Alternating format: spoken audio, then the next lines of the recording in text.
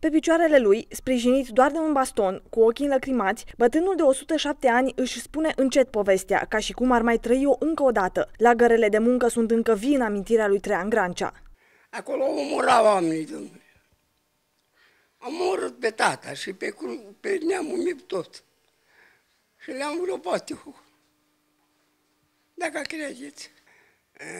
Vreau, domnule, acolo. Dacă se ducea omul ca să se ducă și capăte ceva de mâncare, îl omora oameni. Tran Grancea s-a născut acum 107 ani la Viștea, în județul Brașov, chiar în ajunul Crăciunului. După cinci generații, un nou miracol de Crăciun s-a petrecut în familia bătrânului. A venit pe lume stră-stră nepotul său, care îi poartă acum numele. Nimeni însă nu mai speră să ajungă la vârsta celui mai bătrân membru al familiei. E un sentiment plăcut, ca fapt divers, vă spun, dar uh, noi oricum nu cred că o să ajungem vârsta lui. Nu, nu e posibil. El trăiește după timpurile de atunci, nu mănâncă mezeluri deloc, de niciun fel, carne de pui nici atât.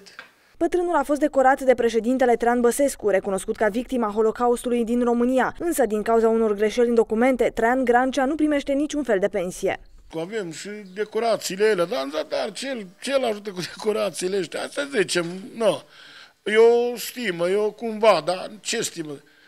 Dacă nimic nu beneficiază, nicio pensie la norocul că suntem noi sănătoși. Acum Traian Grancea nu consumă decât cafea tare cu pâine și feliuțe de slănină, iar la o vârstă așa de înaintată nu își mai dorește decât sănătate și putere pentru fiii și cei peste 60 de nepoți ai lui.